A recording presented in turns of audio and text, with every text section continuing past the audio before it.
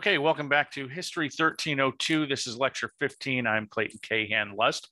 Uh, the question posed at the end of lecture 14 was how did we get to this point, a point where we've got a culture of paranoia that creates this culture of conformity within the United States? Well, how we get there, uh, how things radically change in the United States uh, in terms of paranoia. Uh, pretty simply, in September of 1949, Harry Truman announced that the Soviet Union had detonated their own atomic bomb. Now, the United States' intelligence had already predicted this was going to happen. This was not a shock that the Soviets developed their own atomic bomb. However, the problem was is that intelligence experts said it would be at least another decade before the Soviets did this. So, since the Soviets got there about nine years early, there was clearly only one explanation in the minds of many Americans. The only explanation possible was espionage. That's it, plain and simple. And the two suspects in this case turned out to be Julius and Ethel Rosenberg. They wound up going on trial, uh, and it was uh, it was very strange. The case, uh, even the uh, the uh, the idea that Julius and Ethel Rosenberg might actually be spies. They were unlikely that uh, that they were spies. Ethel's uh, Ethel and Julius, uh, neither one of them had even graduated high school. They certainly didn't fit the profile, if you will, of an international spy. However, what people, what historians know today, what prosecutors knew then, was that Ethel's brother, a guy named David Greenglass, had worked on the atomic bomb program on the Manhattan Project uh, and had worked at Los Alamos, uh, New Mexico, the site where the United States tested the atomic bomb. And there was evidence in trial that he had presented or that he had uh, demonstrated uh, sending signals to someone, uh, coded signals uh, to communicate with someone. And that someone was most likely Julius Rosenberg, the man pictured on the right uh, of your screen here. Greenglass, uh, during this trial, admitted to actually being a spy for the Soviet Union uh, and supplying documents about nuclear secrets to Julius and Ethel Rosenberg. Now, there was no question uh, about David Greenglass. There was also no question that Julius Rosenberg himself was actually a member of the Communist Party. Uh, it later turned out that he was a courier for the Soviet Union. Uh, but the one who was kind of caught in the middle of all of this was Ethel Rosenberg. Most uh, experts, even today, believe that Ethel had nothing to do with all of this. Uh, many people back in the moment uh, questioned her involvement, but argued that, you know, that these are the people she uh, surrounded herself with. So she must have been somehow uh, involved. Uh, as it turns out, uh, that while Julius was a uh, communist uh, and, a, and a courier, while David Greenglass had, had done what he admitted, later, literally on his deathbed, Greenglass admitted that he had implicated Ethel as a way of throwing suspicion off of his own wife. So uh, clearly, Ethel Rosenberg had not really actually been involved in this. Now, to the question of what sort of information did these people actually, quote, provide the Soviet Union? Well, it turns out that a German scientist had provided the bulk of the information that the Soviets needed uh, in order to, uh, to complete the atomic bomb project uh, and what David Greenglass supplied to Julius Rosenberg was of very little consequence. Nonetheless, the Rosenbergs wound up being convicted of espionage and wound up being sentenced to death. So uh, this was a clear, uh, a clear moment uh, to American society, as as many people in the moment saw it. It was a clear moment that said, "Here's the proof we needed that spies are abounding within the United States, and the result of this, this spying is going to be potentially catastrophic. So it turned the idea of what our security is. It turned the idea around of who we can trust and who we can't trust. Uh, sort of the hallmark moment, uh, the height of the paranoia of sorts, uh, is on June 25th, 1950, uh, when the United States actually got involved in the war uh, in a civil war in Korea. On this, on June 25th, North Korea invaded South Korea, marking the beginning of a three year war over who was going to control the peninsula. And it turned the Cold War into a hot war and very nearly turned the, uh, the Cold War into a global war. So, this is a transformational moment. Once again, we're talking about prior to the Korean War, the Cold War itself is just ideology. It's just back and forth about different types of, of thought about the post war world. But now there's conflict. People are actually dying as a result of this. Uh, Seoul, South Korea fell very quickly to the no- invading North Korean forces. Harry Truman went to the United Nations and very quickly uh, got approval to push back uh, the invading communist forces. And this war lasts until 1953. Uh, now, what's remarkable in the Korean War uh, from a statistical standpoint is the uh, American involvement in the Korean War was only three years. Uh, however, uh, as many American soldiers died in the Korean War as died in the Vietnam War, and civilian casualties were staggering in comparison uh, to the Vietnam War. It, um, uh, in some cases, at least three times as many by some accounting. So it's really a, a very deadly war here. Uh, but what's I think is more important uh, about the Korean War is how little Americans actually know about it. Uh, most Americans, our knowledge of the Korean War uh, comes from the television series MASH, and since MASH is set in Korea, but it's really uh, politically it's about the Vietnam War. What it means is, is that Americans just don't know that much about the Korean War, about the origins and why it actually happens, what its place in the Cold War hierarchy actually is tensions had actually been escalating between uh, between the United States and the Soviets since World War II. Uh, I've mentioned this on multiple occasions, so that should be obvious. It should be clear to you that this has been a problem.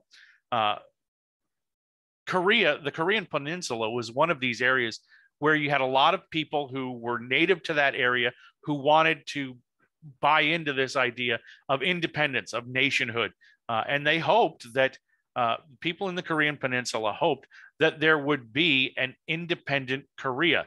Now, post war or during the end of World War II, North Korea, or what becomes North Korea, was occupied essentially by the Soviet Union, and what was occupied or what became South Korea was occupied by the United States. So the plan was, or the hope was, is that there would be some plan that comes about that reunites North and South Korea under Korean, the Korea, the uh, idea of an independent, self-determined Korea. Okay. Now, it doesn't wind up happening that way. For several months, uh, the United States had argued that South Korea or the Korean Peninsula in general was not part of, quote, the US defense perimeter, as the Secretary of State Dean Acheson said, uh, put it. So, since Acheson said over and over again that Korea is not part of the United States' defense perimeter, the Soviet Union took this as a sort of green light to pursue this unification of Korea on their terms, as opposed to uh, Korean self determination or uh, US involvement uh, in the region. And Stalin wound up give Joseph Stalin, the leader of the Soviet Union, ended up giving his approval for North Korea to invade South Korea. For the first three months of all of this stuff, it does not look good uh, for the uh, South Koreans. And here you can see a map of uh, North and South Korea where they uh, where they are in relation to China, uh, where they are in relation to Japan. So they're clearly the Korean Peninsula is clearly an important part of the Cold War uh, of the Cold War ide- ideas and ideologies. the United States really couldn't do much to stop the advance of North Koreans into South Korea. And it looked like uh, South Korea was simply not, as a nation, was not going to last. Uh, ultimately, what wound up happening was, is Douglas MacArthur wound up coming up with this tactic of landing forces behind U.S. forces behind North Korean positions and kind of trapping the North Koreans into these areas, but also leaving them an escape route so that their only their only option was they could not push forward. Their only option was to escape back uh, northward up the peninsula. So that's what the North Korean army forces actually wound up doing. And they just kind of played this game up up the peninsula where the North Korean position would move up, MacArthur would land troops behind it, they would escape northward, MacArthur would land troops again behind it, and they would escape northward until finally they were back up above the 38th parallel, which marked that boundary between North and South Korea. Uh, and for those of you who are interested in military history and all of that, uh, I am grossly oversimplifying all of this stuff. Uh, so, you know, don't worry, you're not going to need to know the names of battles and troop movements and all that sort of stuff. This is more about the ideology and what North Korea and South Korea mean to the Cold War. Now, what winds up causing the problem and making this even more explosive of a problem in the Cold War is that Douglas MacArthur uh, made a decision uh, ra- to pursue unification by invading North Korea. So essentially, the United States is now saying, well, now we're going to pursue unification. This was problematic because a lot of American policymakers believed that the United Nations mandate, which the US had, the US had a clear mandate from the United Nations to go in and save South Korea. But many believed that the UN mandate was simply to push the North Korean forces back above the 38th parallel, which they did. They got that, that far. So at that point, many believed the mission's over. There is no need to be here. There was no clear statement that unification should be pursued. So, why on earth would Douglas MacArthur do this? Why would he go in and say, well, now that we've achieved these victories, now we're going to push backward uh, or push forward and we're going to continue pushing the North Koreans back until there is no such thing as North Korea? Well, very simply, Harry Truman at the bottom of the screen here, the commander in chief, gave him orders that were as clear as mud, essentially. MacArthur was told regardless of what the UN mandate is, regardless of what our public statements are, if you believe that you can pursue North Korean unification or unification with North Korea, meaning you can invade North Korea and beat them. If you believe you can do that without getting China to intervene in this fight, then by all means pursue the attack, pursue an invasion of North Korea. Now, MacArthur truly believed he had that position. He believed that he could invade North Korea and the Chinese would not get involved in this fight. Now, once again, I want to go back for a second here. Look where North Korea is in relation to China. So when MacArthur gets to that 38th parallel and says, we're pushing forward and we're going to get rid of North Korea, essentially, clearly the Chinese felt that they would be threatened. And despite what MacArthur's actions are, China clearly announced that if MacArthur passed the border between North and South Korea, that 38th parallel, they said if Truman pass, excuse me, MacArthur passes the 38th parallel, we'll have no choice but to invade North Korea ourselves as a defensive measure. We will see it as a matter of national security. We will have to do it. MacArthur simply ignored this. MacArthur just did not believe it was possible for China to do this. So he ignored the warnings, pursued beyond the 38th parallel, and then, as kind of seemed predictable here, literally hundreds of thousands of Chinese forces poured across the border uh, with uh, between China and North Korea, and the circumstances of the United States military uh, in North Korea uh, wound up becoming untenable. The United States' Eighth Army Division was actually uh, what was in North Korea at this point. They got surrounded and cut off by the Chinese. This was uh, in they were in real trouble. and what winds up happening here is MacArthur makes this situation worse MacArthur demanded that the United States unleash its full military arsenal on North Korea and China, which would mean a huge expansion of the war because unleashing the full military arsenal on this fight very simply means the use of atomic weaponry in this war.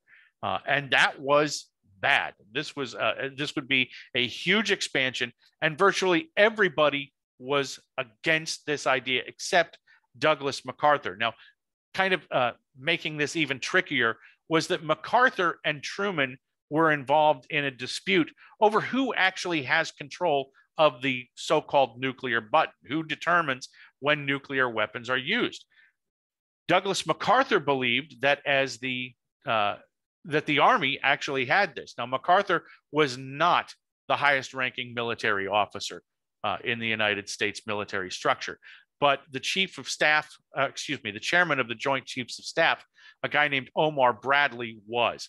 Uh, and Omar Bradley sided with Harry Truman. Omar Bradley argued that the president of the United States is the commander in chief of armed forces, and therefore it follows logically that Harry Truman, the president, would have the power to do this.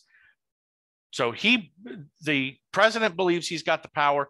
The chairman of the Joint Chiefs of Staff has essentially backed up that it's his opinion that that's correct.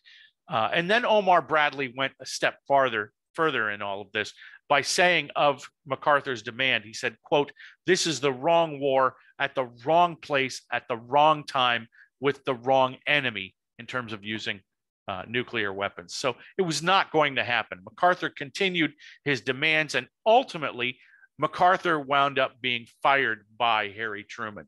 Uh, he wound up being removed from command uh, in in Korea and replaced with another general named Matthew Ridgway.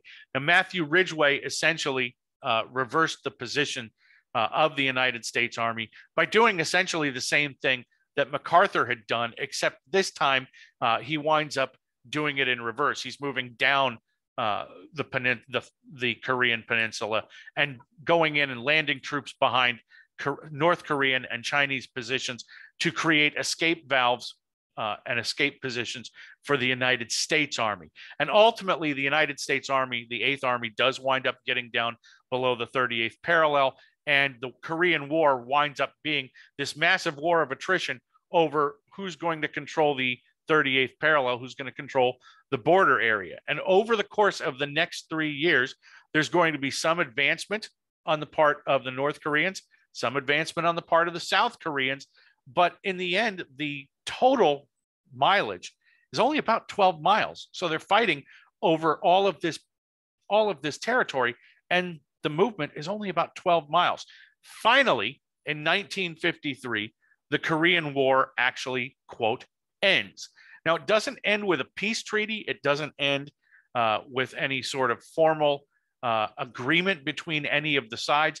The only thing that the two sides agreed to was a cessation of hostilities, an armistice. That's it.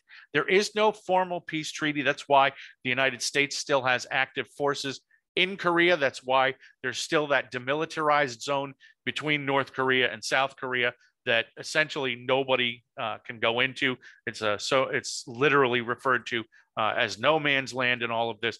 Uh, so there is no formal end to the Korean War, but the Korean War was still very important. It was filled with a lot of lessons, both for policymakers and American society. One big lesson that the Korean War demonstrated was that the United States was committed fully to stopping the spread of communism, period, no matter where it actually is. Prior to the Korean War, again, I can't emphasize this enough. Prior to the Korean War, Harry Truman was basically saying that Southeast Asia was not part of the United States' defense perimeter. But the Korean War changed this. Uh, Secretary of State Dean Acheson may have kind of pushed the United States into this, but once it's on, it's on. The United States is now clearly saying that all areas of the world are quote unquote vital from a strategic standpoint. The second problem or lesson of the Korean War is the difficulty of winning a war, even under the best of circumstances. In the Korean War, the United States fought a fairly weak enemy uh, and had very strong support from its allies and from the United Nations. It had a monopoly on air power, it had a monopoly on sophisticated weaponry, and yet they still found it very difficult to subdue the North Korean military. It wound up being very difficult. The third lesson of the Korean War is the difficulty of fighting limited wars. The American way of war, so to speak, since the American Civil War, had been what we referred to as total war uh, during uh, during World War II. It's total war. In total war, it's everything's on the table. You use all aspects of your society to take on all aspects of the enemy's society to convince them that fighting this war is not worth the effort. Here, what's happening during the Korean War, something totally different. What's happening here is that the United States was fighting a limited war. And limited is exactly what it sounds like limited weaponry, limited objectives. Instead of saying the only outcome that's possible is an unconditional surrender, well, now you don't want an unconditional surrender. If objectives have been met, that's it. That means the end of the fighting. And limited wars are also for what it's worth, they're very unpopular. The public rarely understands the purpose. The military has problems with it because even though in some cases it's easy to fulfill their objectives, it's also difficult to try to figure out what a victory looks like. Even in fulfilling those limited objectives, sometimes victory doesn't really look like victory. So, very few people actually like the idea of limited wars. So why do we switch to a limited war? Why do we switch from the idea of total war to limited war? Well, very simply, nuclear weapons are what causes this. Now, a country that possesses nuclear weapons does have the actual ability to completely annihilate their enemy. So if you pursue quote unquote total war, it simply follows that well, if they're not going to if they're not going to give up under all of these other circumstances, here's what we can do to completely annihilate them and end this war. Nobody wants that because everybody understands after 1949 that if the United States drops the atomic bomb for whatever strategic reasons, then the Soviet Union is going to do the same thing and vice versa. So, one, there's no such thing as a quote unquote limited nuclear war. So, limited war is the new norm, but nobody really likes the new norm. Lesson number four is something that is referred to in political circles as the tail wagging the dog. The United States, over the course of the Korean War, truly believed that they could do whatever they wanted uh, in this area and get South Korea to do all of the heavy lifting. That the United States would set up would set up tactics and strategy. South Korea would carry them out. On the other, uh, in, in terms of what actually happens, it's the other way around. The United States is the one that is taking the direction from the South Koreans. The South Koreans are setting tactics. They're the ones who are saying, this is what we want. And the United States is the one that's going out and doing all of this. And then the last lesson this is more of a political lesson for Harry Truman. The last lesson is do not lose a war during your presidency, or at least appear to be losing a war. Harry Truman was, under the Constitution, entitled to run for reelection in 1952. But because of how things looked in South Korea, or in uh, Korea generally, uh, because of the appeared, uh, the apparent bogged down conditions, the Democratic Party flat out told Truman, we're not going to nominate you. Don't run for reelection because there is no way we are going to nominate you. So this was tough. Uh, Truman, you know, loses the presidency as a result of this. The Korean War, therefore, is a pivotal part of the Cold War. It had turned the Cold War hot. It demonstrated the United States' commitment to be the quote unquote world's police, if you will. But even as this is occurring, there's something else developing, something that US policymakers generally missed, even though it's right there in front of them. Okay. And I spoke to this when I talked about Koreans wanting an independent Korea that they have self determined. Okay. Something that's going on here that virtually everyone was missing was what's called third world nationalism. Third world nationalism. In the 1940s and 1950s, a development that very few people suspected was going to happen happened. And virtually every policymaker, again, virtually all sides ignored this idea of the development of nationalism in the so called third world. And here we have to start out with some definitions, primarily so we know what we're all talking about when we say, quote, third world. It's a term that's just kind of loosely tossed around today. But third world does actually have some very specific definitions. There is a political definition that applies mostly to the Cold War era.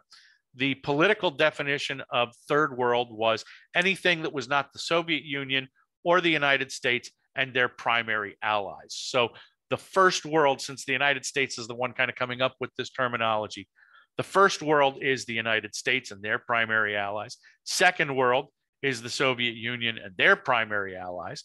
And then everybody else, people who have not made a decision whether to be with the United States or the Soviet Union, those areas are referred to as, quote, third world. There's an economic definition of third world. And these last two definitions, these are what people use today uh, for the most part when they're tossing around the phrase third world, uh, is the economic and ideological definitions. An economic definition for third world is any country that is not economically self sustaining or is in need of industrialization. So, if a country hasn't industrialized, if they are not capable of creating a self sustaining economy, if they're constantly in need of loans for development and that sort of thing, then that country is referred to from an economic perspective as a third world country. And then there's an ideological definition of third world. And that ideological definition is, quote, or is any need or any country that is perceived as, quote, needing modernization. Now, that's a tricky term. Needing modernization uh, is one that can be lo- very loosely applied. You can have countries that are very, very much capable of economic self, being economically self-sustained, but if they seem to have some quote unquote backward ideologies, then they're going to be considered to be quote ideologically third world. So places like Afghanistan uh, before uh, the U.S. the uh, U.S. and their allies invaded uh, during the war on terror. Uh, Saudi Arabia and much of the Arabic world is frequently referred to as third world, even though they are they are incredibly wealthy. Uh, from an ideological standpoint, some have referred to them as third world uh, parts of the country. Now, again, understand that these are American definitions of these terms. Other countries uh, don't refer to themselves as quote third world countries. They don't look at themselves and go, "Hey, we're we're a third world country. What what can we do?" These are definitions that are essentially imposed uh, by the United States and uh, and their allies in the Western world generally. Now, third world, this third world, when combined with the idea of nationalism, can become an explosive problem potentially. Nationalism is a very powerful ideology. It represents a commitment to independence, an anti colonial sentiment. And by the 1950s, it had grown into a major force in places like India, in Pakistan, in Algeria, throughout Africa, throughout Latin America, throughout Eastern Europe, throughout Southeast Asia. All of these areas are places where we're seeing these countries saying, no more, no more colonial domination. We want to be independence independent. And this is where the cold world is going to flare the hottest. Not so much in Europe, where there's obvious potential conflict points between the US and the Soviet Union. It's in the third world where millions of people die. And here we're going to have to deal with a paradox for the United States. There's been there's been not one year since World War II where there has been quote unquote peace outside of Europe out around, the rest of the world, throughout Asia, throughout Africa, throughout the Middle East, throughout South America. There has been constant warfare, civil war and otherwise, uh, guerrilla wars, terrorism, social conflict, however you want to refer to it. It's been going on literally every year since World War II.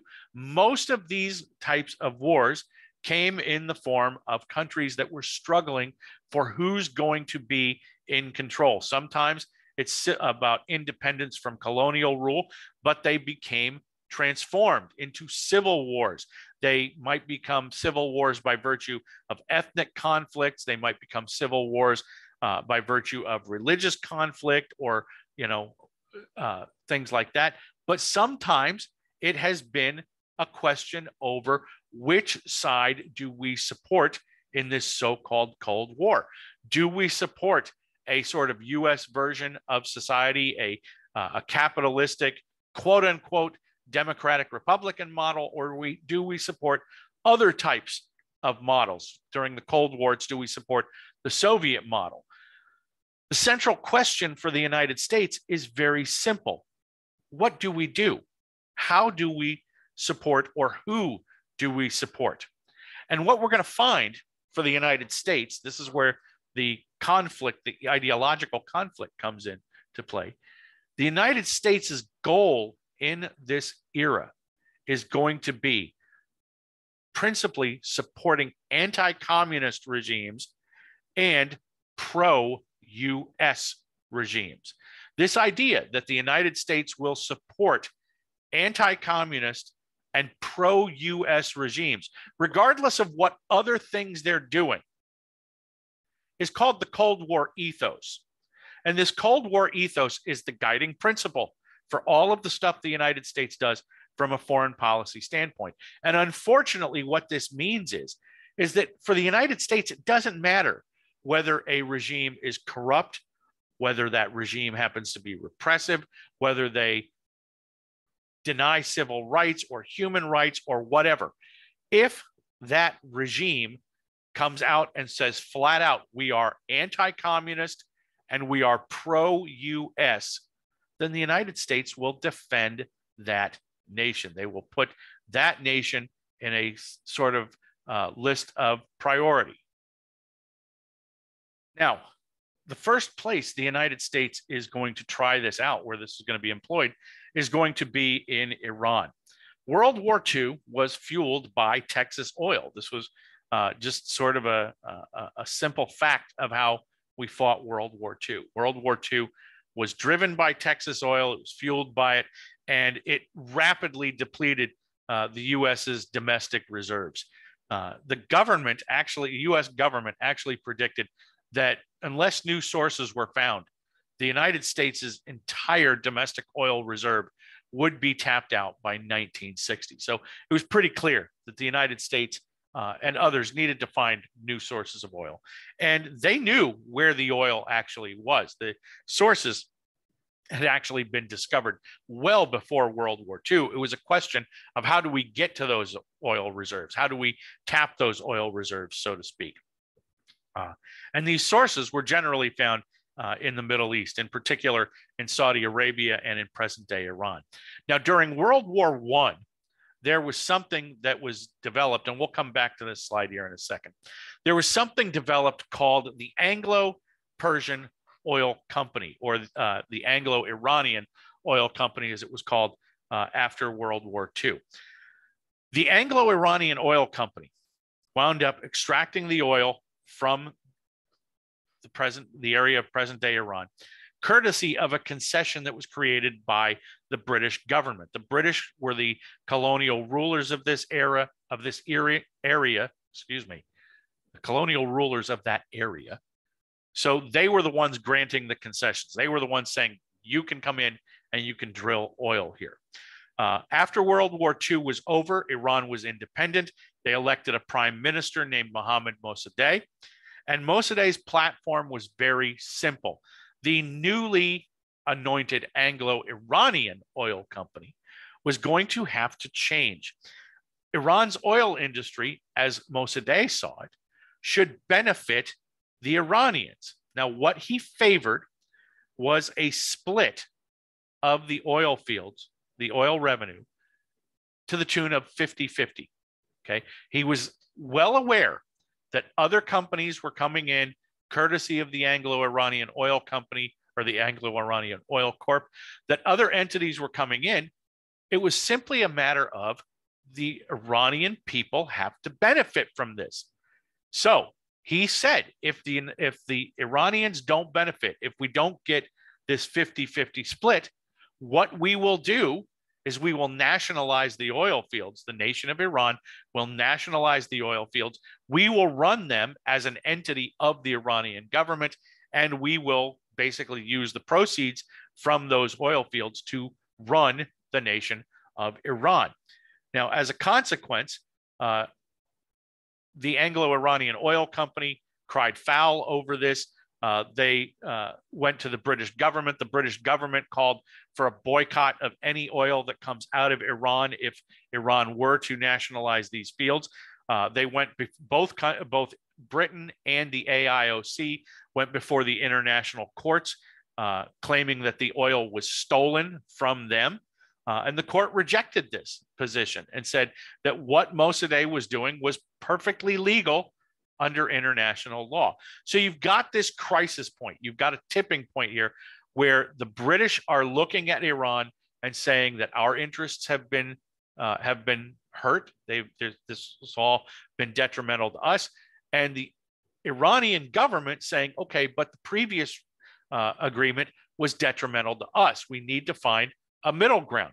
It's at this point that the United States steps in as what they referred to, the negotiators referred to themselves as quote unquote an honest broker. And what they meant by this was is that the United States didn't actually have a dog in this fight. The United States was not really involved in any way in Iran.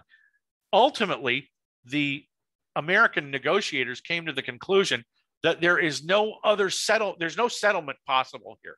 Both sides are too entrenched and the simplest way to do this would be to eliminate the present Iranian government. Uh, the two people who were sent in uh, by the United States uh, to do this, to effect this, were Kermit Roosevelt, the grandson of Theodore Roosevelt, and Norman Schwarzkopf Sr. And their goal, their task, very simply, was to engineer a coup in Iran uh, to remove Mohammad Mossadegh uh, from power so that he would not be able to carry out nationalizing the oil fields. Now, what they did, they argued, uh, they put out part as part of all of this uh, attempt to uh, topple the regime. They put out a narrative. They put out all sorts of statements about how Mossadegh was using uh, the word nationalization, and nationalization was a code word for communism. That this was a problem. That he had rejected realistic uh, that he had re- rejected realistic efforts at trying to fix this problem. For example, they uh, announced that the United States announced an $85 million aid package to Iran, and Mossadegh had rejected that. Well, the United States stepped in and offered that $85 million aid package to the traditional ruling, uh, to the traditional rulers of Iran, a group of people who were referred to as the Shahs, and the Shahs accepted this, and they accepted conditions uh, of toppling Mossadegh's government, that the Shah, the kings essentially of Iran, would be placed in charge of Iran. They'd get the oil, uh, they'd get the $85 million aid package, and they'd also be responsible for creating a new oil consortium and creating something called the Baghdad Pact. The Baghdad Pact uh, would be something that would be a collective security agreement for the Middle East. So now the United States is involved in NATO. They're involved in the Southeast Asia Treaty Organization, that ANZUS arrangement, and now the Baghdad Pact to create collective security in the Middle East. Uh, now, they also, the United States also uh, portrayed Mossadegh as a communist for another reason. And for that, we're going to have to go back to that initial map that we looked at. Iran obviously had massive oil reserves, but they also directly bordered the Soviet Union. And the United States clearly feared that the Soviet Union would, in some way, get access or want access and get access to oil reserves that were in their border areas. But what allowed them to, what allowed the United States to paint Mossadegh as a communist, in addition to all of this nationalization stuff was is that the people in Iran, when they got together and uh, and voted on their new parliament, the people in this northern part of Iran here, these people up here, because of their proximity to the Soviet Union, they had a lot of similar po- political beliefs, and they voted for people who were members of the Socialist Party in that region. Mossadegh, Day, when he talked about having uh, the new parliament meeting in Tehran, he said, well, this is a people's legislature. This is the people are the ones who vote on this. If the people have voted for these legislators, we have no choice but to seat them in the national legislature. That's a very democratic way of looking at these things. And yet, because these people were socialists, because they were, quote, communists, the United States looked at this and said, well, you're willing to hold hands with communists, communists, so you must be a communist sympathizer yourself. So the United States looked at Iran as being one of those potential falling dominoes because of things like the amount of oil that was there, the popu- the uh, location, the proximity to the Soviet Union. They looked at it and said, "There's a potential problem here." But what Iran also had that made it uh, that made it a target for the United States to say, "Look, we can step in and save this." Is the people, the population of Iran.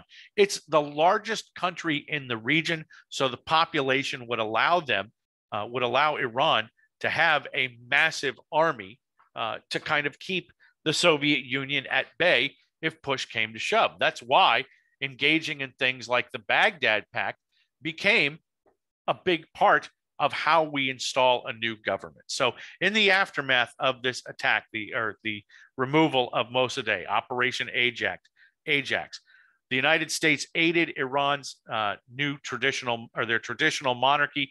Uh, they they they reemerged. They're the leaders. Uh, the United States gave them the $85 million aid package. The new prime minister created a new oil consortium that was called the Iranian Oil Participants Limited. Uh, and Iran got 40% of the revenue. Uh, and I'm not going to test you on these, but I'm, I'm just kind of giving you this for background information. Iran got 40% of the proceeds uh, of Iranian oil. Gulf Oil got 8%, Shell got 14%, uh, French Petrol, the French petrol company got 60 per, or 6%, and a company called Iran Aramco, uh, which was Standard Oil of California, Standard Oil of New Jersey, Standard Oil of New York, and Texaco, they all got 8% each. So there's this massive, there's this new massive consortium with a lot of American oil companies getting a piece of the action in Iran. The Shah turned out to function very well as an ally for the United States. When Arab nations and OPEC uh, embargoed oil to the United States in the 1970s uh, because of the uh, the uh, because of the U.S.'s connections to Israel, Iran rejected that uh, embargo and continued to sell oil to the United States out of defiance. Now, on top of that, Iran also wound up buying millions of dollars worth of weapons from the United States. The United the the Shah himself created one of the most repressive regimes across the uh, across the globe. Uh, however, what he also stated very clearly was, "We're going to keep the parliament here, but there will never be communists sitting on that uh, in that uh, that parliament. So we're going to have no communists here, and we will clearly be a solid pro US regime. So Iran worked perfectly within that Cold War ethos. The next area we're going to see this playing out, this Cold War ethos, is in Guatemala. Guatemala was and is one of the chief sources of bananas in the United States. Uh, I'm not going to suggest to, the, to you that the United States fought a Cold War, uh, quote unquote, over bananas. Uh, but the companies that are involved here uh, are the companies that are involved in the trade of bananas. So it's really, they're really kind of a critical part to all of this. Guatemala was uh, was dominated uh, by a company called United Fruit Company at this point. Uh, the United Fruit Company, through a series of mergers and the like, uh, wound up ultimately becoming Chiquita Banana, the Chiquita Banana Corporation. Uh, and United Fruit Company was very much uh, a power player in Guatemala. They didn't just own banana plantations, they owned 80% of all of the land in Guatemala. They owned virtually all of the port facilities. So that means that every bit of trade that comes in and goes out of Guatemala, United Fruit Company got a piece of the action on this. Uh, they owned virtually every radio station in Guatemala as well. So they controlled information. So the joke that went around, and it wasn't really a joke, it was more reality than anything else. But the joke that went around during this era was that Guatemala was a subsidiary of the United Fruit Company. Now, this obviously didn't make a lot of Guatemalans happy. A lot of Guatemalans were impoverished. They owned virtually no land.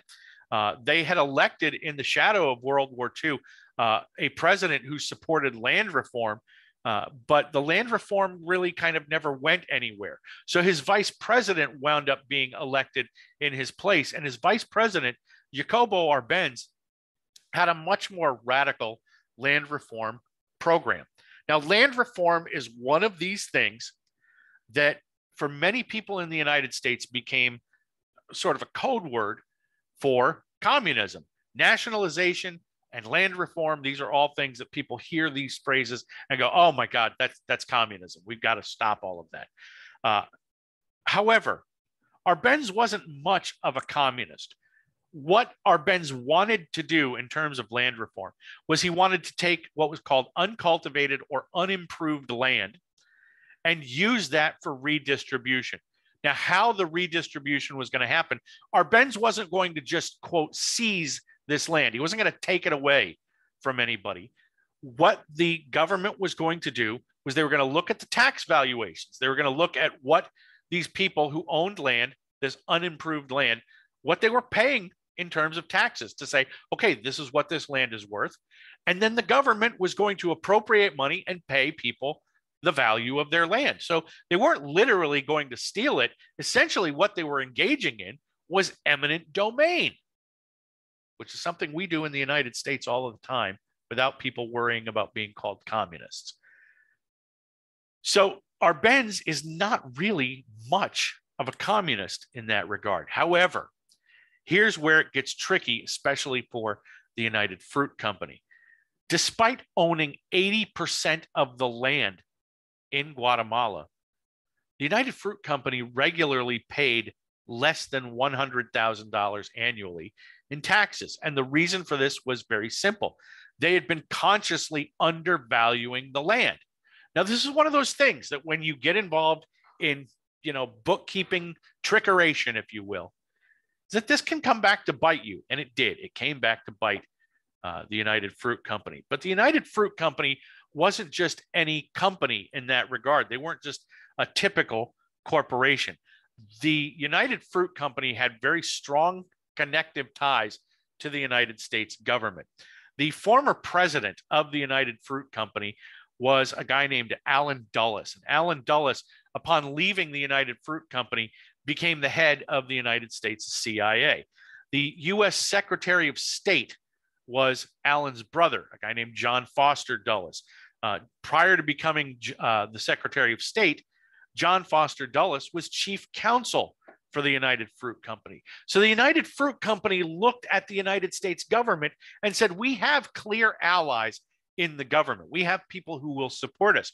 So when Arbenz starts talking about all of this reformist stuff, United Fruit Company went to these allies and said, look, you've got to stop this. We cannot allow this to happen.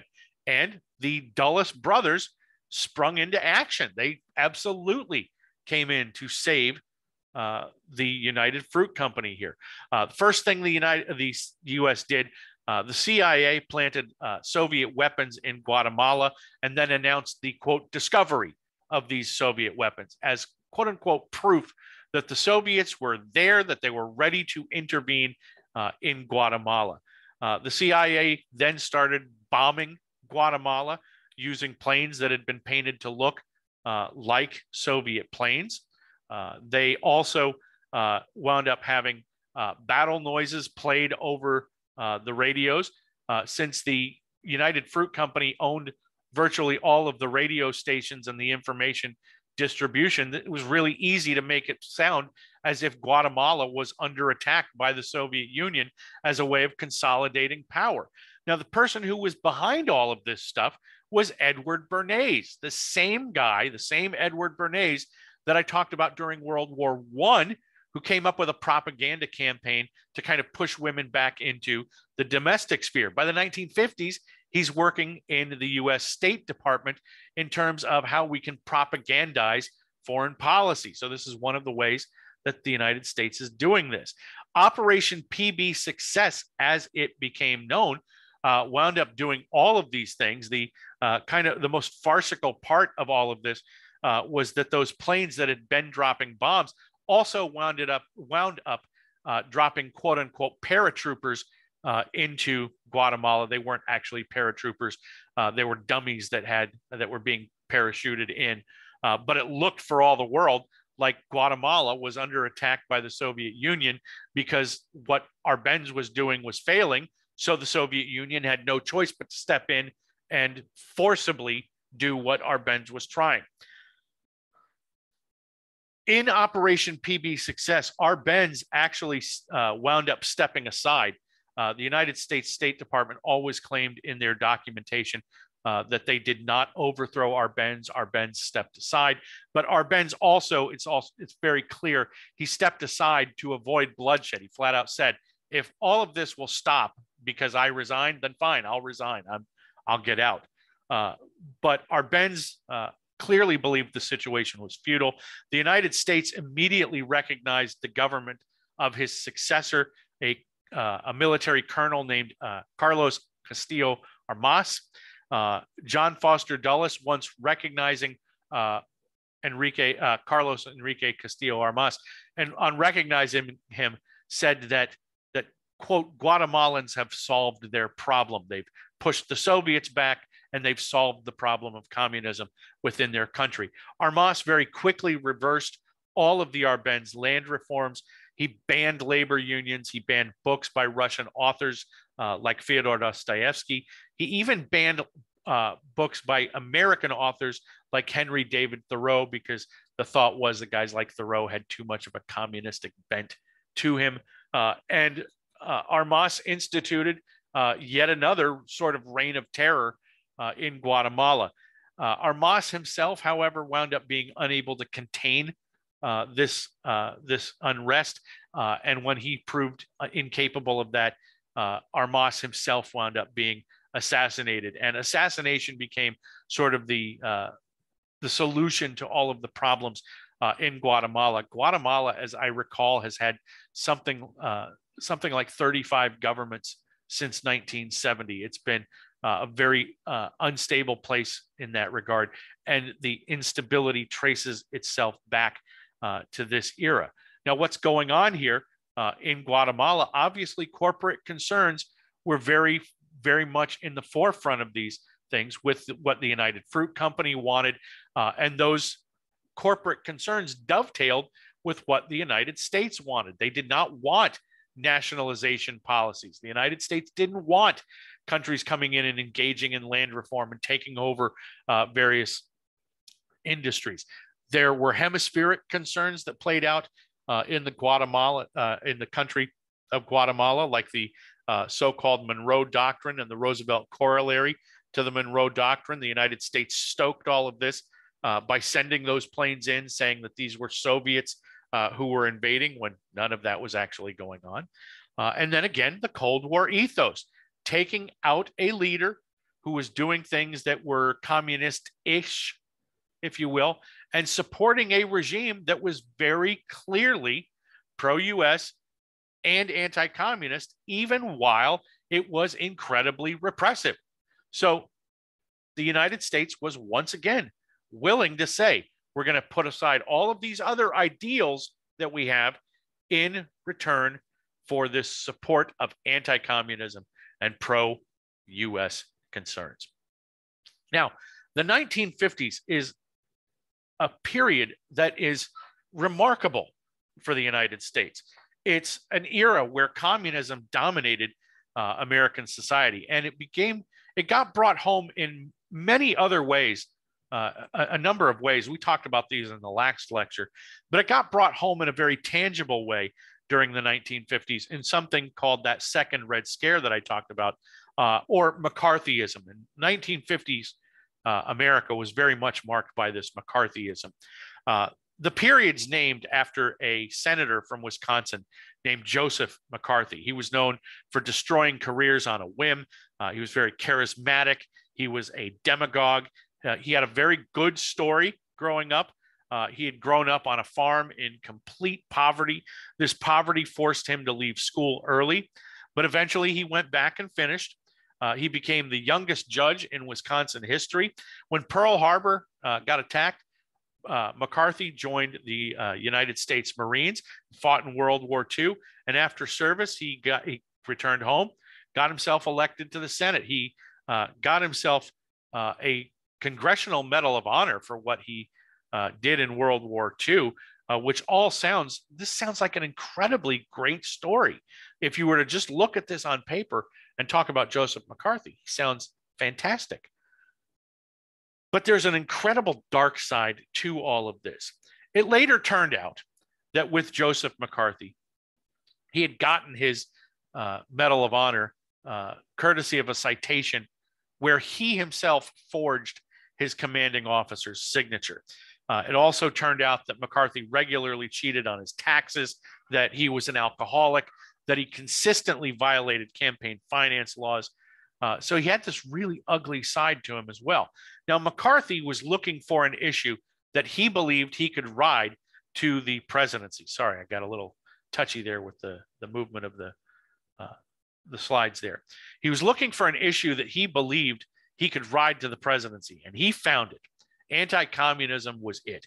In a speech that was given before a women's auxiliary group, he held up a sheaf of papers and said, I have in my hand here a list that contains 205 quote card carrying members of the Communist Party who work in the United States government across all levels of security. Now, this turned out to be completely false. McCarthy had no such list. And I think it's worth pointing out here that at this particular moment, there were 4 million uh, US governmental employees. So 205, that's a, that's a drop of spittle in a massive bucket. Uh, but even with McCarthyism uh, and the Red Scare uh, emerging here, Americans had this sort of have, I shouldn't say had, they have an inexplicable nostalgia for the 1950s. There's a myth that the 1950s were this nice, pleasant interlude between the violence of World War II and the cultural violence uh, and cultural upheaval of the 1960s. But this is simply not reality. Uh, there were fewer teens as a percentage of the population in the 1950s than ever before. But somehow, these people created virtually every aspect of what's understood as teen culture in the United States. What was critical about creating this teen culture in the United States was a, multiracial aspect to it that in Americans had never really seen before. Uh, for example, country and Western music came together uh, and fused with rhythm and blues in the Upper South to create an entirely new type of music, one with a new culture. Now, up until this point, in 1954, the most popular singer in this country was a guy named Perry Como. And don't get me wrong, I'm not about to tell you that Perry Como was in some way subversive. It's what he represents a sort of departure from. The number one song in the country was how much is this doggy or how much is that doggy in the window? And that was just kind of representative of the older culture. But with that fusion of country and western music along with rhythm and blues there's a whole new style of music that emerges called rock and roll and with rock and roll came a whole new set of teen icons now people didn't want to be perry como people turned to elvis presley they turned uh, to Little Richard and Chuck Berry. Little Richard and Chuck Berry were breaking color barriers by playing to white audiences uh, and mixed race audiences as well. Uh, Buddy Holly was part of all of this stuff. Fats Domino was part of it.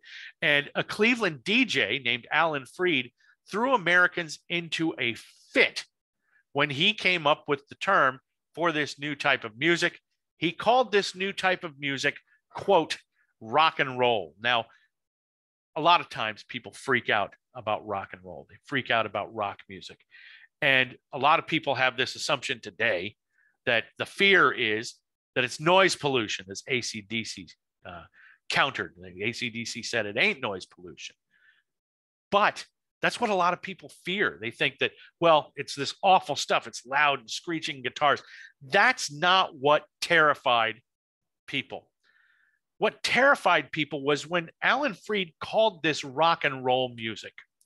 He was utilizing a piece of African American slang. Rock and roll was African American slang for sexual intercourse. So, by basically saying this is rock and roll music, it's music that you rock and roll to, he was connecting this. There was a sexual connotation that he was very consciously making with this music.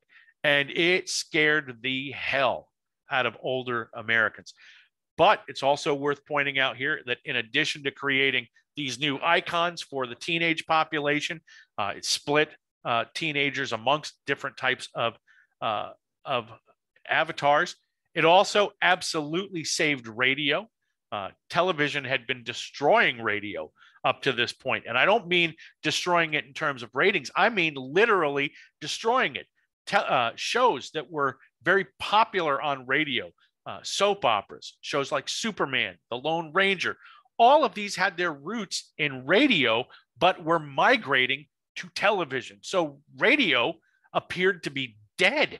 On top of all of that, if teenagers wanted to listen to this rock and roll music, they weren't going to listen to it on the big radio that the family gathered around to listen to the news or listen to War of the Worlds or all this other type of entertainment. Another factor that absolutely saved radio that happened in conjunction with these new teen icons was the development of the transistor radio. People could take their music and take it on the go. They could move with their music. This is, again, very important. This is no less revolutionary to the 1950s teenagers than things like iPods and iPhones are to today's youth. That you can take your entire music catalog is remarkable. That these people were able to actually take their music with them, tune into a radio station that played their type of music. This was something that generations could not have conceived of before, and it was very important uh, in saving uh, the industry of rock and roll, or excuse me, saving the radio industry. Now, the 1950s also saw the development of drive in picture uh, theaters. Uh, by the 1960s, drive ins outnumbered uh, regular inside, indoors sit down movie theaters. Uh, the idea behind uh, a drive-in was that a family could actually go to the movies and not need a baby babysitter. They could all just go in and take in the movie. Uh, however, what actually wound up happening what happening was is that the drive-ins became sort of the uh, the playground of teenagers. They wound up being dominated by teenagers as teenagers flocked to this these areas. There were a lot of fears about this new teen culture that emerged. For a lot of people, the most important singer of the 1950s was Elvis Presley. And, uh, and Elvis Presley scared the hell out of American parents. The way he gyrated on TV, the way he sounded as if he himself were black, the way that that type of music appealed to their teenagers. It's all happening on some level because teenagers are now all congregated in one place school. For a half a century, Americans had been trying to get children out of the workforce and forcibly into these schools. And by the 1950s, they had succeeded. A majority of the kids were in school, a majority were graduating from high school. But the unintended consequence, if you will, is that these teens are coming together and creating independent, autonomous cultures that disturbed their parents rather than made their parents feel secure. So, the image of the 1950s is a challenging one. It is one of this sort of, the images are ones of hula hoops and bunny hops and uh, Edsels and tail fin Cadillacs. Uh, the television shows like uh, the Howdy Doody show, or in the center, uh, Kukla, Fran, and Ollie, and Father Knows Best. But this is all distortion. This is not what the 1950s were.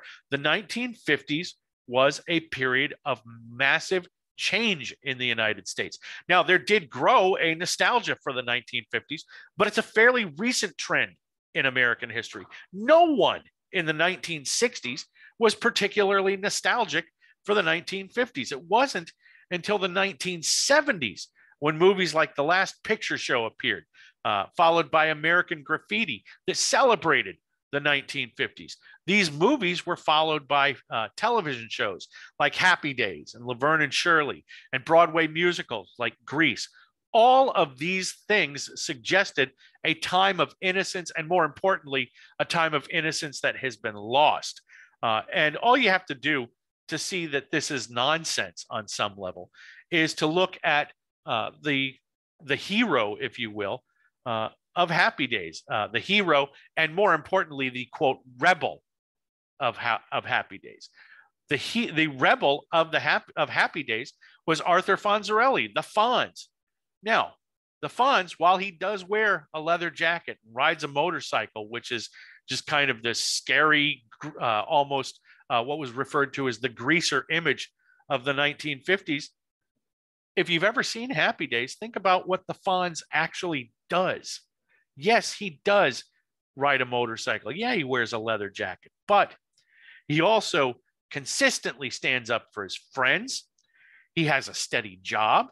He pays rent. Sure, he dates a lot of women, but Mr. and Mrs. Cunningham can always find Arthur Fonzarelli when they need him. Mrs. Cunningham, in fact, never calls him, uh, very rarely, I shouldn't say never, very rarely calls him Fonzie. She calls him Arthur by his given name. And he's all he himself is always respectful of Mr. and Mrs. Cunningham. He's never disrespectful to them. And then by the end of the series, he's absolutely as, as establishment as it gets. He becomes a teacher at high school. He becomes an auto shop teacher in high school. So he's hardly a rebel. Okay. And yet we have this idea that he that rebels are like that, and that there was this other side to America that was really uh, kind of a uh, kind of a uh, a more wholesome place than it was. Now, the reality of the 1950s was about this second Red Scare and McCarthyism.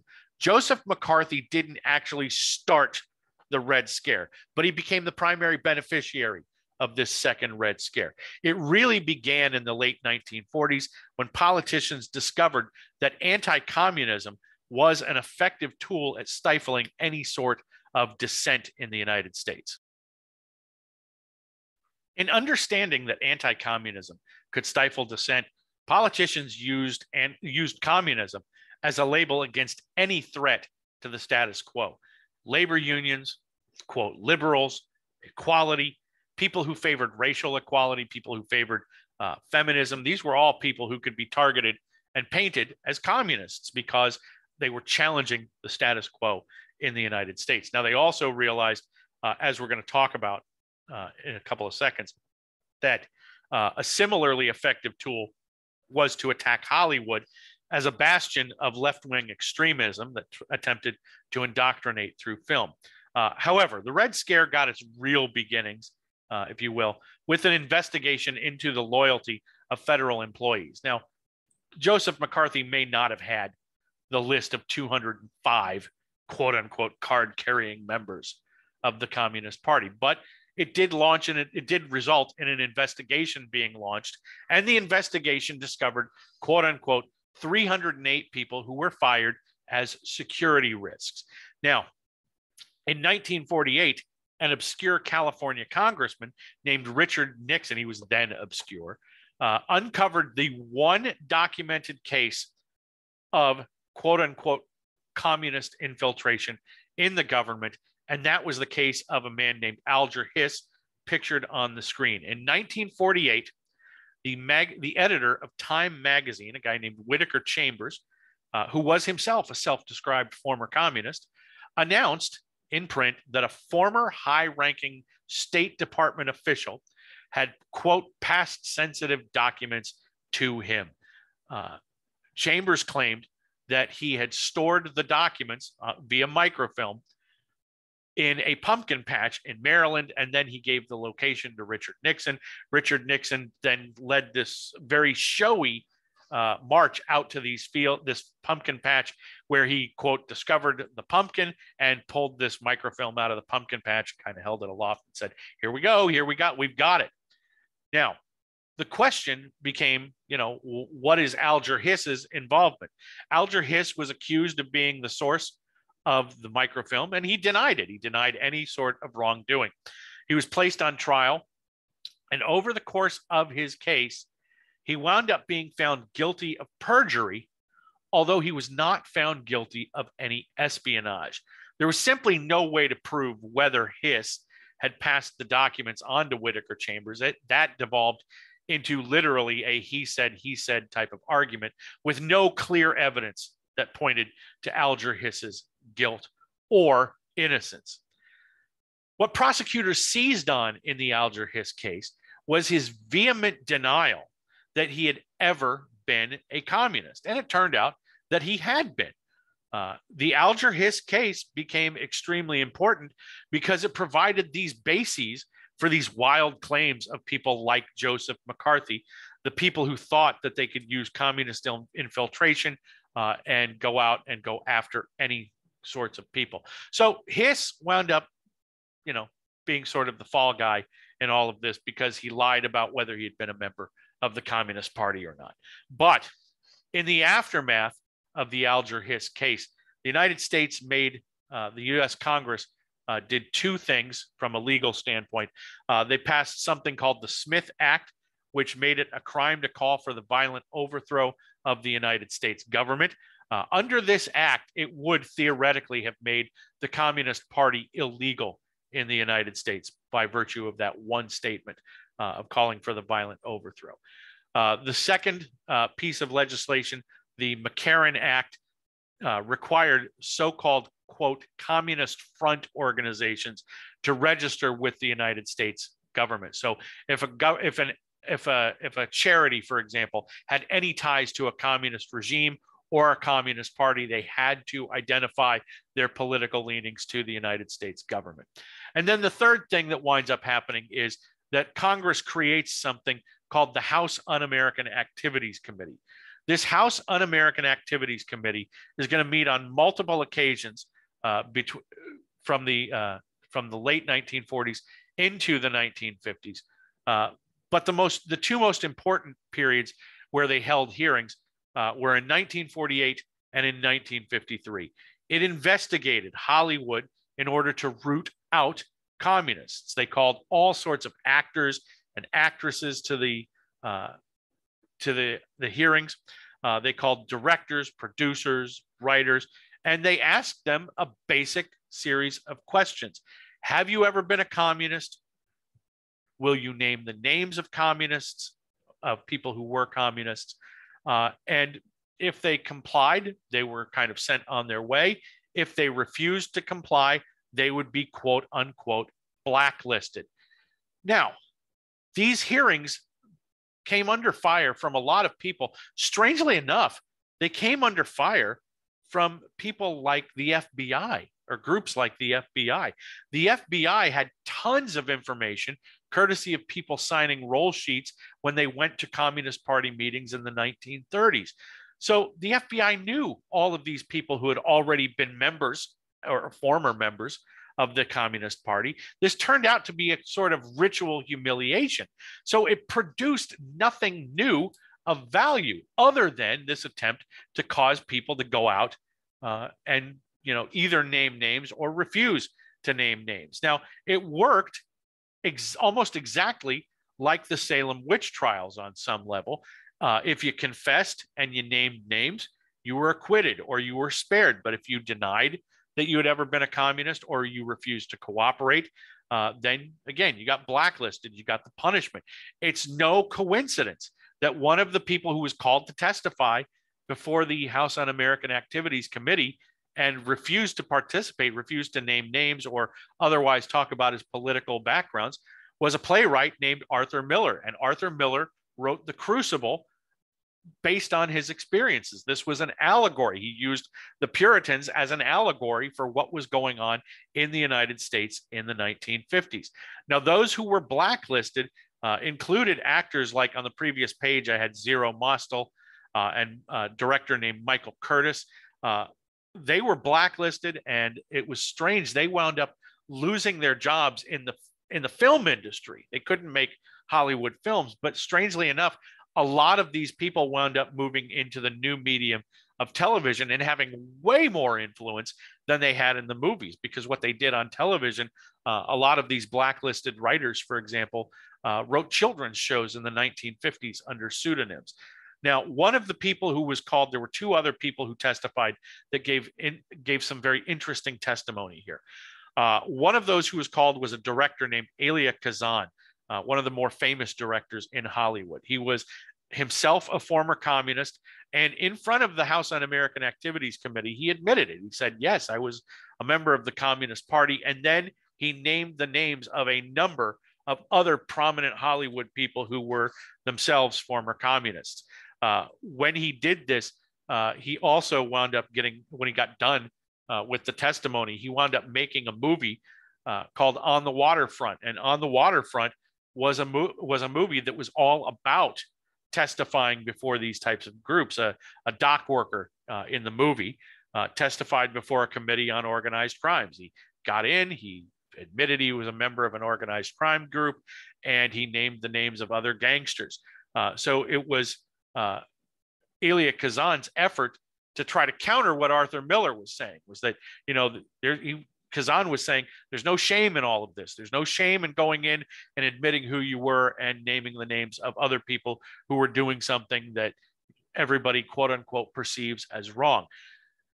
Strangely enough, Arthur Miller had an, an odd ally in all of this stuff in another Hollywood figure uh, who supported his testimony. That figure was Ronald Reagan. Now, at this point, Ronald Reagan was not a politician. There was no I, there was no thought being given to him uh, running for president someday. He happened to be a member of the Screen Actors Guild, and when he appeared before the House Un American Activities Committee, his testimony was is that it probably does happen in Hollywood that people actually that they actually engage in indoctrination, that they use it uh, to uh, to try to create some sort of sense of what their politics are. He said, but you know, the right does this too. The right uses uh, films as propaganda as well. Uh, and he also addressed the question of asking asking about political beliefs by saying that this is the United States. It's you know politics are personal. There's you know no, it's nobody's business what party you belong to. So Reagan, in an odd way, wound up supporting Arthur Miller and not supporting the right on all of this stuff. Uh, but this testimony that Reagan gave, that Miller gave, that Kazan gave, these kind of marked the contentiousness of the 1950s. Now, another point of contention in the 1950s uh, was the just sheer amount that was being spent uh, on military uh, appropriations during this era. Uh, the 1950s was the create was the era of the creation of what people have referred to as the military industrial complex. And in in in our modern world, pe- a lot of people throw around the phrase military industrial complex with uh, probably not really much of a reason to, to uh, or understanding of what it actually means. Uh, but what underpinned this creation of the military industrial complex was something that uh, historians and economists have referred to as quote unquote military Keynesianism. Uh, now, if you remember back to uh, when we talked about the Great Depression, John Maynard Keynes suggested that one way for governments to spend money uh, to keep the country out of a, an economic downturn was for the government to spend, spend, spend during a downturn, that it would take public money, it would put it in private hands, and that it would keep the economy rolling. Now, what occurs in the 1950s was not true Keynesian economics. There was no downturn. But what there was was a massive amount of government spending, in particular in the defense industry. Uh, and they continued on what the government had been doing during World War II. Now, what why it's called military Keynesianism is very simple. There are two ways that governments can actually spend money. One of them is on social programs or infrastructure, doing things like building schools, building hospitals, uh, building roads, uh, improvement of public delivery, uh, public utilities delivery, or the government can spend money on the military, which produces massive amounts of spending on weapons, on armaments, on bombers. The idea behind military Keynesianism is a massive government jobs program in the form of the defense industry. And it was very successful. Uh, 40,000 workers were involved in the defense industry by the mid 1950s. Uh, and this winds up having long term consequences for the United States. By the 1960s, more than half of the United States' uh, government uh, budget expenditures went toward defense spending. So when people talk about the massive defense expenditures of today, it starts in this particular era. By the mid 1970s, the, the Department of Defense had more assets than the 75 largest corporations in the United States. What was being created, as one historian referred to it, was a permanent wartime economy to help maintain prosperity. Now, one person who actually had some misgivings about this was the president of the United States, and I'm sorry I've got his picture over uh, some of the uh, the text here. Uh, the president was Dwight Eisenhower, and Dwight Eisenhower had actually supported this notion of a massive military buildup. Uh, the reason was very simple, uh, or the reasons were very simple.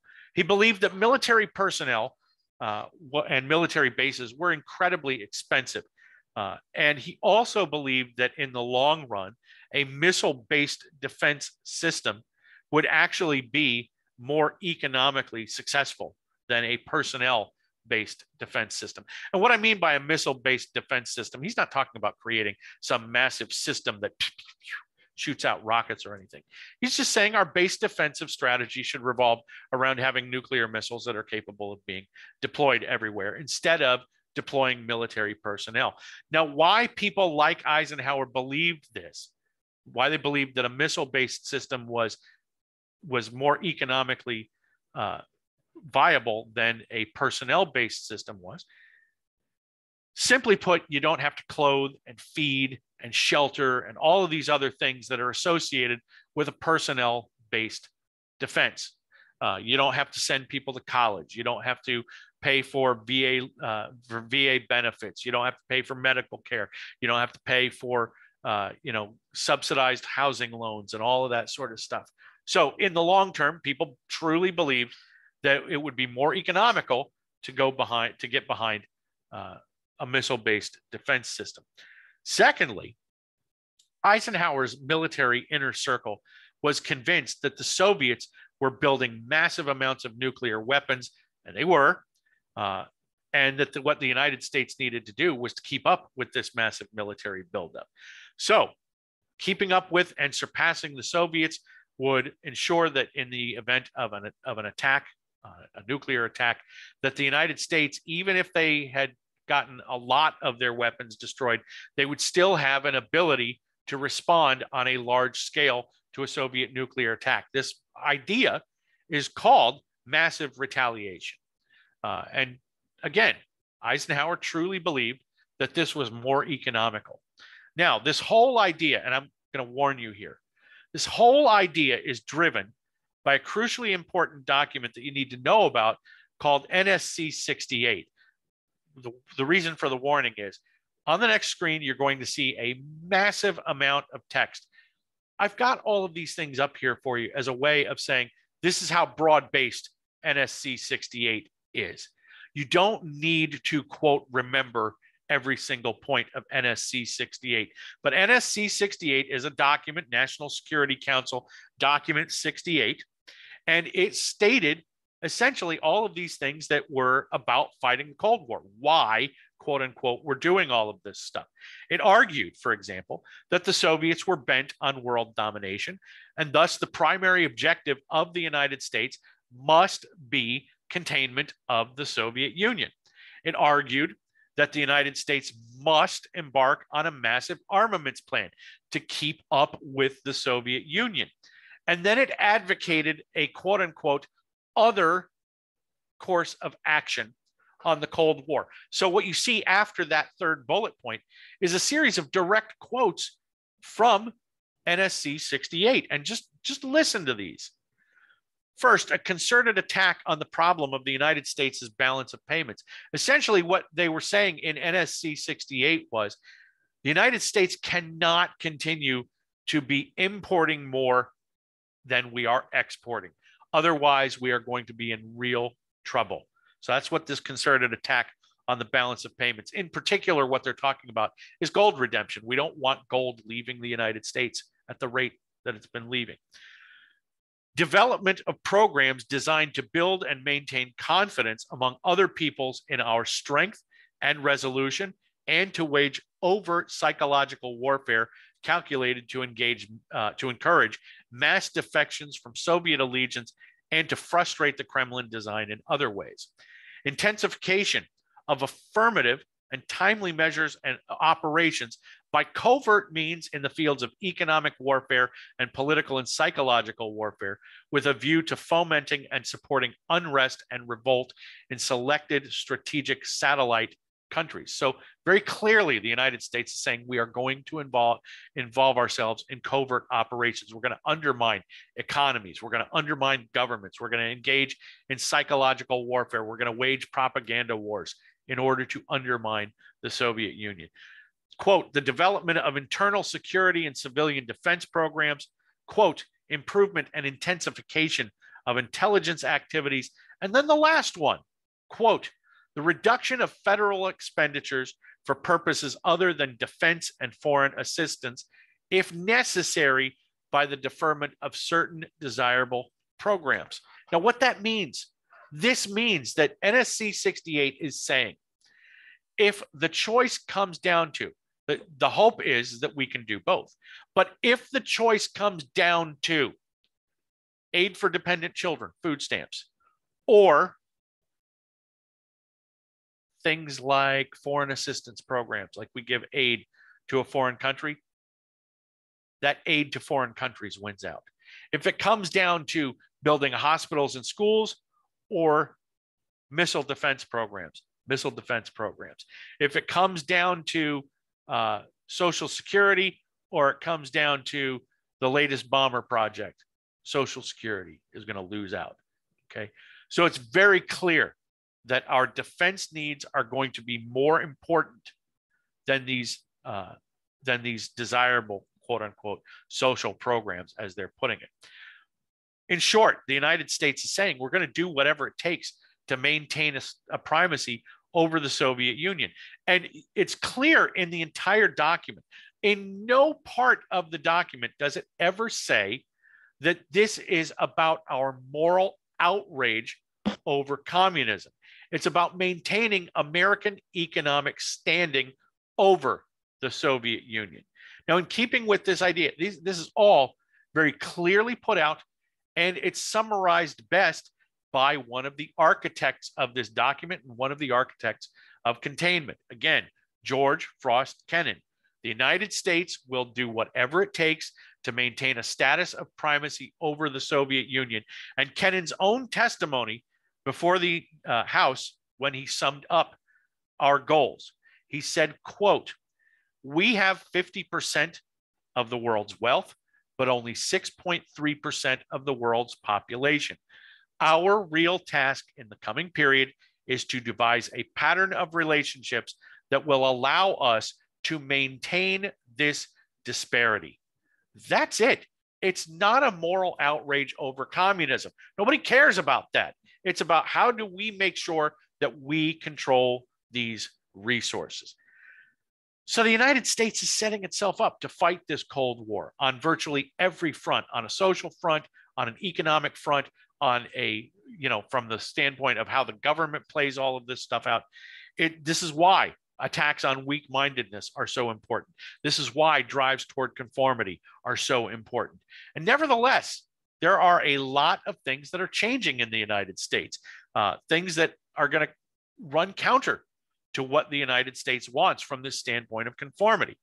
As I mentioned a few minutes ago, in 1954, rock and roll came to public attention. But by 1957, that first phase of rock and roll had already ended. All of the quote unquote icons of this era were gone. Elvis Presley had, and I don't mean like literally gone, but Elvis Presley was off in Europe. He had been drafted by the peacetime army and was in, was stationed in Germany. Little Richard had converted to Christianity and sworn off rock and roll music. Uh, he said it was quote the devil's music and he would never perform it again. Obviously, he changed his mind later. Uh, even guys like Jerry Lee Lewis, who were uh, very important and uh, foundationally to rock and roll. Uh, he was essentially banned from the radio, uh, from radio stations, and the outrage was not over his music. The outrage was is that he had married his cousin, and oh, his cousin happened to also be 13 years old. So uh, he was just considered way too immoral, even by rock and roll standards, for this. Now, record companies understood the importance of rock music and they tried to create new icons for this. But that youth culture that I talked about that was so important in this era, the youth culture actually created the new icons. It was not the record companies that did this. The new icons, since a lot of men were being sent off to this military and you know in this peacetime draft like Elvis, the second phase of rock and roll music was a phase that is referred to as, quote, the girl band phase, because it was young women who were going to be the icons of rock music during this era. Uh, they proved to be no less dangerous than uh, their earlier uh, their earlier counterparts like Elvis and Little Richard, Fats Domino, and Jerry Lee Lewis. For example, you've got Martha and the Vandellas, the Shirelles, the Supremes. They are all first of all, women, which is on some level kind of scary within rock music that women are coming to the forefront and saying, we're not going to be these these are not women who represent the so-called domestic sphere they're also all african american which means that the uh, the listenership the when these people go out and play uh, play play concerts to their live audiences those audiences are going to be uh, racially mixed but they're also, remember, there was there was a fear in rock and roll music. The term itself, rock and roll music, it was a sexual slang. Well, that becomes even more clear and causes a lot of people uh, a lot of uh, a lot of problem when the songs that these women are singing start getting released. Like, "Will You Still Love Me Tomorrow," which was written by Carole King, uh, but made very famous uh, by the Shirelles. Tonight i mean just read the lyrics about all of this. It is very clearly about whether these people should engage in sexual intercourse or not. So when fathers are hearing songs that are quote for rock and roll purposes they're already terrified. But now they're hearing their daughters sing about rock and roll so this second phase of rock and roll this girl band phase was just as dangerous, if not more dangerous, to the American mindset than the early phases were. But there were some other major changes that were heading to the United States uh, as well. Uh, there was a very important case uh, that hit the Supreme Court called the Roth case, Roth versus United States. Samuel Roth was a self described smut peddler and had been sentenced to 25 years in jail for sending obscene material through the mail. But his appeal uh, of his uh, sentence to the Supreme Court uh, wound up resulting in his conviction being overturned. The court ruled that only that quote only a work without socially redeeming value may be censored. Now, what does that mean? Only a work without socially redeeming value may be censored. In practice, what it meant was is that works could no longer be banned on the basis of a single word or a single paragraph or a single scene like in movies.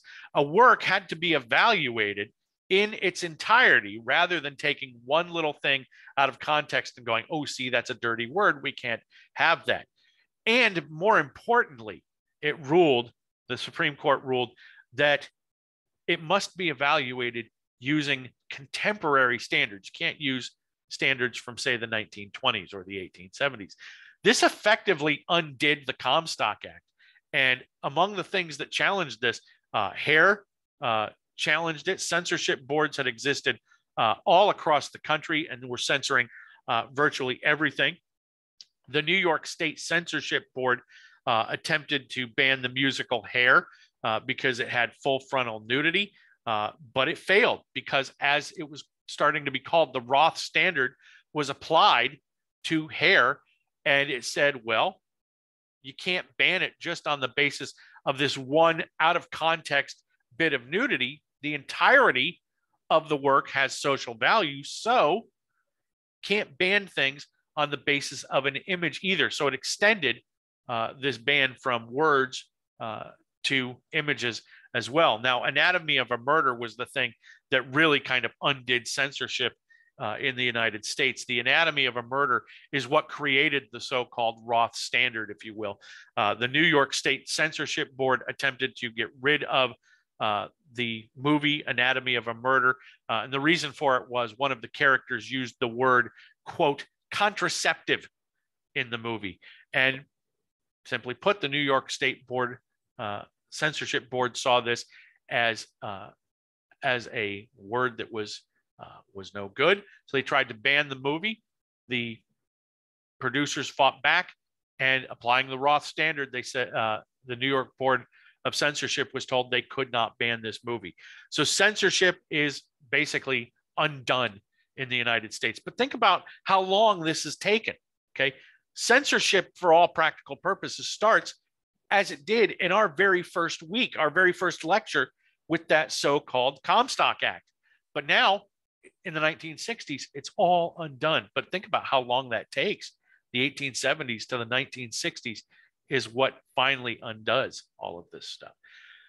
During this same period, uh, the Soviets were sending uh, their first satellites into space, Sputnik, uh, a basketball shaped and sized satellite. Uh, seemed to a lot of Americans like the Soviets had taken over space. So this pushed the United States uh, to engage in their own uh, move into space. In very quick response, the United States set up NASA whose job was to get the United States into space and fast. Now, the first launches in the space program were not terribly successful, uh, but uh, ultimately, the United States pushed forward with all of this because, again, there's this fear, and again, communism is in, is uh, is uh, is infused in all of this. If the Soviets beat the United States into space, then we could be in real trouble because the communists will control the next area of potential colonization. So the face, uh, the, the United States is changing. The face of the United States is changing as well. Uh, the United States city was beginning to decay. When we started this course, all the way back in lecture one. Cities were growing. The United States was becoming more and more urban, not less and less urban. Cities were attracting millions of immigrants. They were attracting jobs. They were attack, attracting capital. But after World War II, cities were becoming less and less essential. The big effect of the military-industrial complex, complex, excuse me, uh, was that the jumps in the economy meant that a huge middle class was growing in the United States. And this middle class was not content to stay in the cities. This middle class was increasingly moving out of the cities into a new invention, the suburb. The suburb was the product of government policy. Now, I'm not telling you that the government came in and said, let's create these things called suburbs and let's get everybody moving in. I'm telling you, it's the product of government policy. So it's the result of all of this stuff. The government had created the interstate highway system, for example. Uh, and as hard as it is to believe in Houston of 2022, uh, none of our highways existed, the ones that we travel uh, on and probably curse on a lot. None of those existed uh, in the early 1950s. When people traveled, they traveled on two and four lane roads. But President Eisenhower in the 1950s argued that the United States needed to have a system that linked the nation by this via this massive highway system for defense purposes. If we need to get people out of an area quickly, if we need to move materiel quickly, a national highway system will allow for all of that stuff. Uh, however, the way these highways were constructed, they wound up being created. The, the, the vision for them was more along the ideas of expressways. You don't have a bunch of exits. For example, you get in, get on in a major population center, and that's it. You're not traveling locally on a highway. But the way the highway system was developed was with lots of local exits, and a product of these local exits was the suburb. Now people were able to be moved out of these cities and into these su- suburban areas via this highway system. Uh, also, on top of that, the United States engaged in a massive loan program for home buyers. The United States government consciously uh, produced this idea that uh, we want people buying homes. We want the consumption that goes along with it. We want the economic benefits that go along with home ownerships. So the government fosters all of this stuff, not only in subsidized loans for uh, civilian purchases, but through uh, GI loans for home purchasers and all sorts of other uh, programs that foster this. So we wind up having a lot of houses being built, and a lot of those houses are built in these suburban areas. The effect of this is, is that by the 1960s, 90% of all growth, industrial growth, population growth, economic growth, it's happening not in the cities, it's happening in these suburban areas. Cities are increasingly becoming the preserve of the elderly and ethnic minorities in this country. Uh, on top of this, uh, we also have the development of youth as a stage of life. Not until the 1950s and 1960s did higher education really serve an important purpose in the United States. The University of Virginia, for example, which is one of the largest colleges or universities in this country, in the 1950s or in 1950s, its enrollment was 3,000 students. Today, it's got more than 35,000 students. Similarly, the United, the University of Houston, more locally, traces its history to 1927, but it really doesn't begin until the 1960s when they start seeing massive uh, enrollment when it becomes a state school. These universities grew for a number of reasons. In part, it's about people in an advanced society, uh, in an industrialized society, needing to have more education. That's certainly a part of it. But as you should all be aware, there's not much of a connection, uh, or not uh, not much of a connection in every single case between the education you're getting and the job that it's preparing you for. For example, those of you who are business majors or accounting majors or nursing majors or things like that, I, I, am not egotistical enough to think that a history class is preparing you and going to make you a better nurse or a better accountant or something along those lines. There are skills you'll learn in history classes, but that will help you. But this is not going to make you a better nurse or accountant. What education does is it prepares you in other ways. People go to colleges so that they are spending money. There's a very strong economic factor within college attendance. Uh, skills like persistence and getting uh, and completion are part of what you're doing when you're in the college classroom, so to speak. So, what emerges is a period of life where people are going out and doing these sorts of things, they are also, generally speaking, freed from the responsibilities of adulthood. Now, at a community college, it's a little bit different, but at a four year college where you're living in dorms and all of that sort of stuff, uh, especially which is which was the norm in the 1950s and believe it or not in the 1950s and 1960s a lot of community colleges also had dormitories what winds up happening is, is when you have people confined to these places where their parents don't actually live, where they're freed from those basic responsibilities of adulthood, even though they're doing all of this stuff in school, they're still freed from adulthood. This allows them to create a distinct culture with different distinctive languages, with distinctive dress, with distinctive types of music that they listen to, and again, as I mentioned earlier, this is the sort of stuff that scares the daylights out of parents. We also have a fundamental change in the character of women's lives. During the 1950s, the birth rate was at its highest rate in the 20th century. There was the rise of the so called traditional family. But even as the 1950s proceeded, uh, women were re entering the workforce in growing numbers. There were a number of women uh, who, at the start of the 1950s, uh, women got married at the age of 17, would have an average of four children, and they were typically finished with that child birthing by the age of 30. So this left a lot of women in the United States with time, time to contemplate, time to think about what their lives actually meant, and a number of them actually and re-entered or entered the workforce. as early as 1960, the pendulum had swung yet again, and one third of American women were eh, active in the American workforce. So there's a real dis, uh, growing disparity here in terms of what the image of the 1950s was. And think about those images again the, you know, father knows best, uh, leave it to Beaver, I love Lucy. There's that image that domesticity is the ideal. But the reality was is that women were going into the workforce. Now, the culture is clearly changing, and this stuff explodes into the 1960s. Whites were moving in huge numbers to the suburbs, as I mentioned.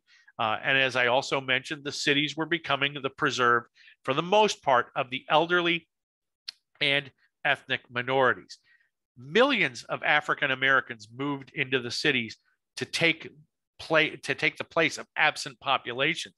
By between 1945 and 1970, so many African Americans had moved out of the South's farms and into northern cities and into urban areas that the African American population just kind of flip flopped. It went from being 80% rural to 80% urban in the course of a single gen- generation.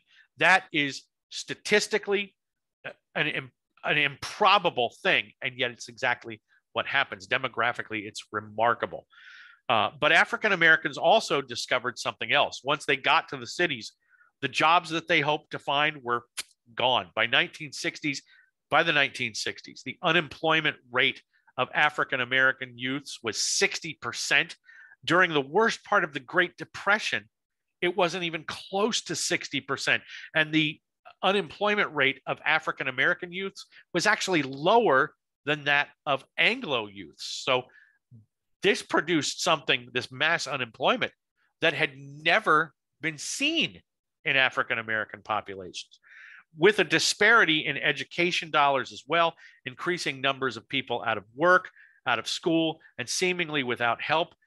By the 1960s, uh, the cities were so much on decline that the riots that happened in the mid to late 1960s were not only almost unavoidable, they were predictable. They were very clearly predictable.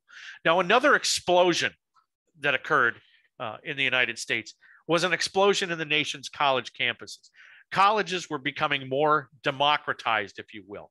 Uh, but students were being were finding out that they weren't going to get treated like adults. Most colleges had rules that were called uh, called parietals, meaning that there were different restrictions on women's activities than there were on men's activities. Uh, for example, women were required uh, to sign in and out of their dorms, while men uh, typically were not required to do that sort of stuff. Uh, the idea of a co ed dormitory was out of the question in the 1950s. Uh, women were also required to obey curfews. They couldn't have men in their rooms under any circumstances. Uh, and should they be in, in a male college's college student's dorm room, uh, they were required to they were required uh, all parties were required to observe quote unquote the three foot rule uh, which meant that there had to be three feet on the floor at all times to you know make sure that they weren't doing things they weren't supposed to be doing. But a bigger problem that was going on i mean and don't get me wrong a lot of people looked at this and said this is this is very much a problem. A bigger problem as college students saw it was the lack of free speech on college campuses. Administrators restricted what could be said, what organizations could uh, be formed, what news college newspapers could say, what student newspapers could say. Uh, this led to the first large scale protests at places like the University of California, Berkeley, uh, the Students for a Democratic Society. Administrators there claimed that the Democratic Students group had been organized by communists, and therefore we're getting rid of the uh, Democratic Students Group. The leaders denied this and began protesting against the college administration, uh, arguing things that students should not trust anybody over the age of 30, for example. These riots developed uh, and, and protests developed into something much more broad. Uh, and it was sort of crisscrossing with things.